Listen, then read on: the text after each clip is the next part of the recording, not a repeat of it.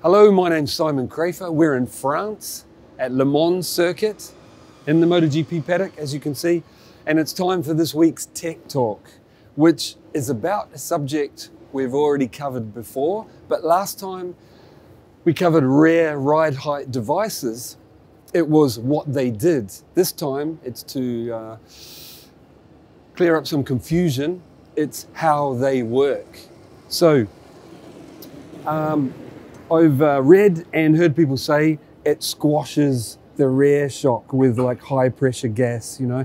This is a spring out of most of the bikes in the paddock and uh, 95 newton meters takes around 10 kilograms pressure to move it one millimeter. So, I mean, I could stand on it and you barely notice the, how much it moves. So engineers are far too clever to waste energy um, you know, meaning have to, you'd have to tow a trailer with a compressor on it to for the whole race distance to be able to compress that the the amount that these move, which is like range between 20 and 35, 40, something like that millimeters, the rear. So they don't squash the rear shock.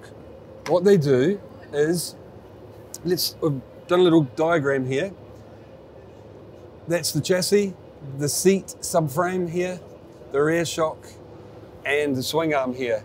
And see the, the connecting rod that's running, uh, it's a, like a connecting link or rod, or it goes from the swing arm to the rear linkage. And that rear linkage, when the rod swing arm goes up, pulls that, compresses the rear shock. That's your suspension on most motorcycles, and including in MotoGP. So this connecting rod here, they take that out and put in the rear ride height device. It's called that by all the riders and engineers because it adjusts the rear ride height and it's a device. So that slots in here in this and when the, the motorcycle has the rider's weight on it and is accelerating, there's a lot of force there. So when the rider decides to pull that lever, it might be a thumb or a, uh, Fabio's got a little finger looking clutch lever here, you know when they pull that, it allows this device, which is very similar technology, very similar, used slightly different, very similar technology to a rear shock.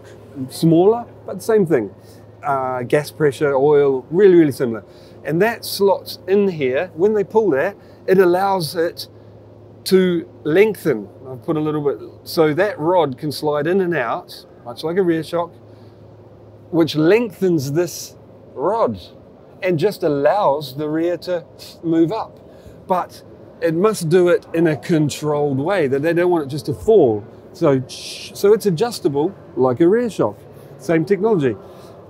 Gas, uh, oil under pressure from gas, adjustable uh, both ways, like a rear shock, compression or you know rebound.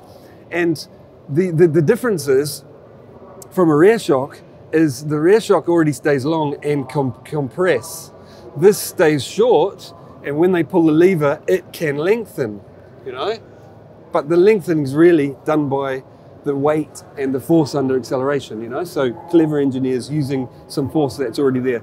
Then when the rider brakes, let me explain. So I'll sit in uh, pit lane and watch the, the engineers, uh, the guys warming up the bikes, you know, the mechanics warming up the bikes. And when they test this, the engine's running, they pull the lever, before they pull the lever, the bike's solid, like all bikes, you know, trying to compress the spring. When they pull the lever, they can easily pull it, push it down. And then they need to grab it. It, it kind of sits there because the gas pressure, which can be adjusted as well, because how much they want it to go up and re-engage. But they normally have to grab the bike and pull it up the last part to get it to engage, you know, this device. So it's all adjustable because they need it to get to the end of the straight when they're braking and engage because they don't want to go into the corner and it collapse again. So that's why the gas pressure in there, maybe even in two stages, they can adjust it. The gas pressure in there helps it to come back and engage. So without further ado, I, I hope you've enjoyed this uh, rough explanation on how rear ride height devices work. See you in Mugello for the next Tech Talk.